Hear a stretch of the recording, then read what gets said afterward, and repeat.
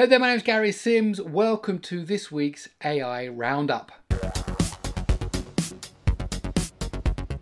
So as always, the whole area of AI, machine learning and generative AI is moving along at a blistering pace, so lots to cover this week. Let's start with video creation. Now we're all used to having images created using some of these uh, AI models, so Midjourney, DALL-E and so on. You can type in whatever you want, give me a picture of a duck playing a guitar on the moon, and that is the picture it will generate for you. Now of course the next frontier is video.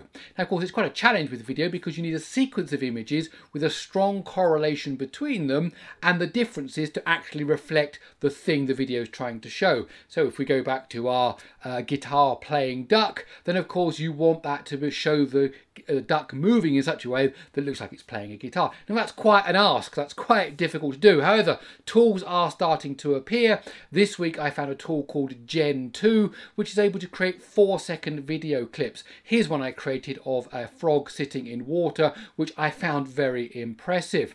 Now, of course, it's not always going to work. It's a bit hit and miss. Here's a picture I tried of a duck moving across some water, and that didn't work out quite so well. However, if you persevere with it, I'm sure you can get some good results. Moving on, Amazon has launched its chatbot. Now, of course, we're used to ChatGPT, Bard, and so on. Now, Amazon haven't gone head to head with things like uh, ChatGPT. Instead, it's released a chatbot that's emphasizing access to its web services or AWS.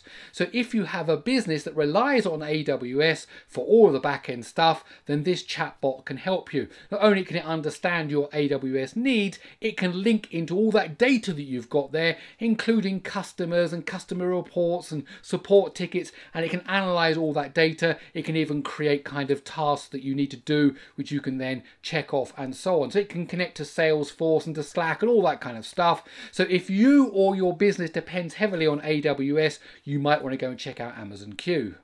Now, before we leave Amazon Q, why is it Q? Well, it's not the Q star algorithm that I talked about last week. Others have been talking about from OpenAI. It's definitely not that. Some people say it's to do with Q as in Q from the James Bond movies. Other people say to Q as in from Star Trek. But in either case, it's something new and unique that Amazon have created.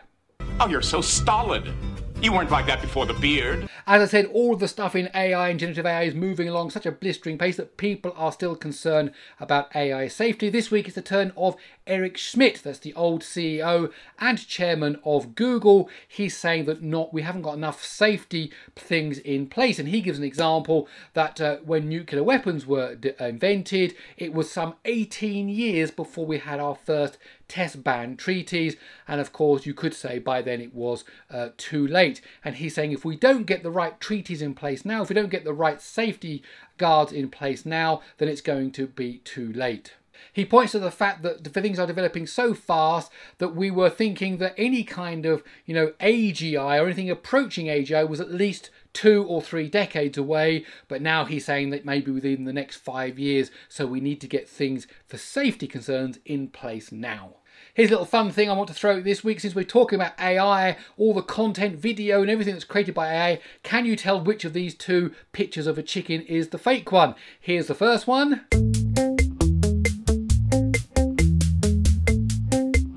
And now here's the second one.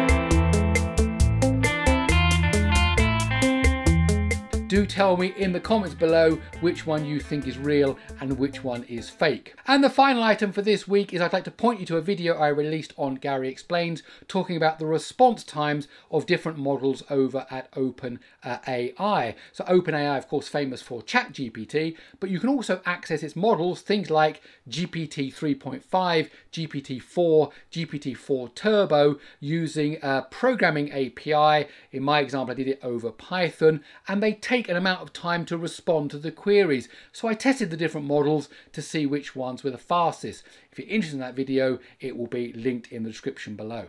If you want even more details on this week's uh, AI Roundup, do follow the link in the description below that will take you to the written article that gets published weekly as well. Okay, that's it. My name's Gary Sims. I really hope you enjoyed this AI Roundup. If you did, please do give it a thumbs up. And that's it. I'll see you next week.